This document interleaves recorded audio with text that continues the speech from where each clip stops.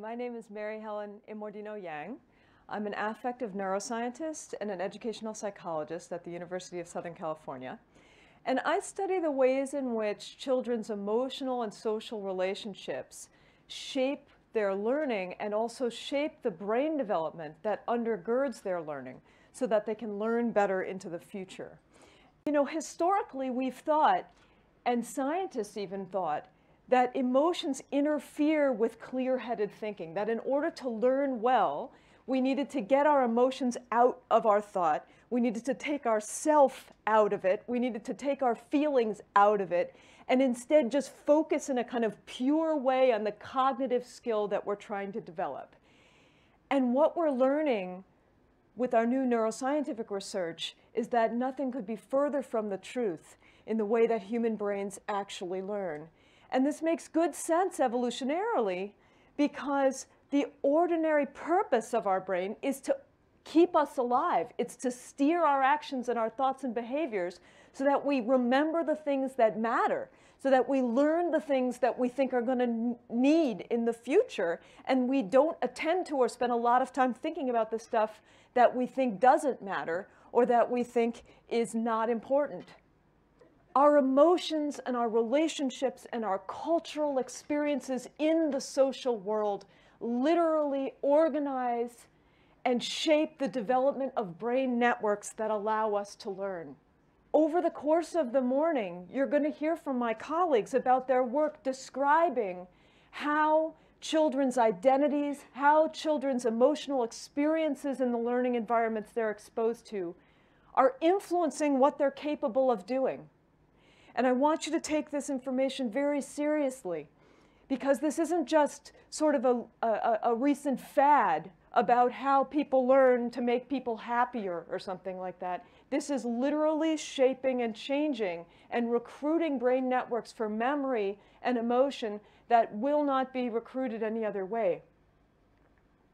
It is literally neurobiologically impossible to think about things deeply or to remember things about which you've had no emotion. I'm going to show you next a picture of the human brain in an inspired learning state.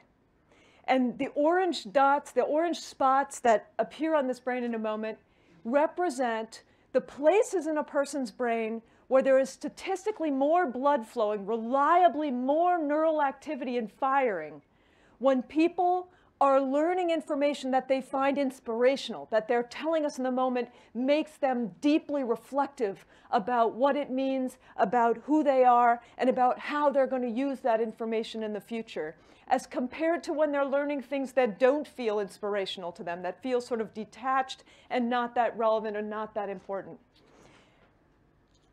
And what I want you to notice is that not only are there massive orange activations, huge areas and swaths of activation up at the level of the cortex, all this folded up stuff at the top that we're so proud of having so much more of than apes, right? But that actually inspired learning activates all the way to the bottom of the field of view of our scanner.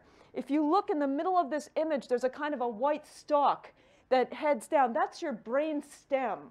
That part of our brain we share with all vertebrates. Alligators have a gorgeous one of these, right?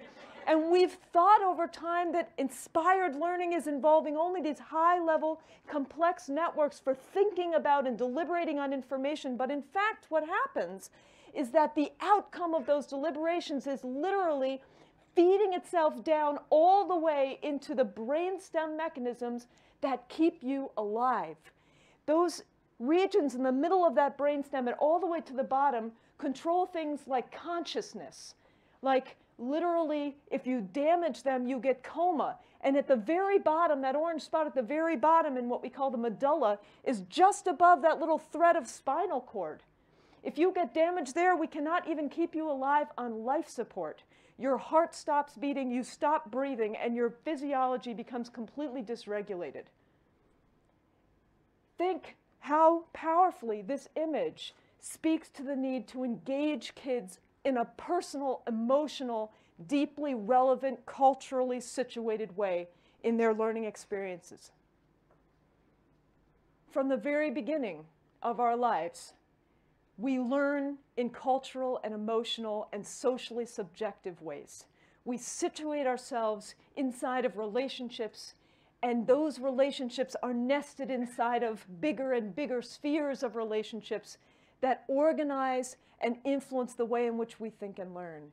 We need to take our emotions and our relationships and our social situatedness extremely seriously if we want to actually build schools that support all children in learning optimally and in growing their brains optimally so that they're capable of thinking well into the future. Thank you.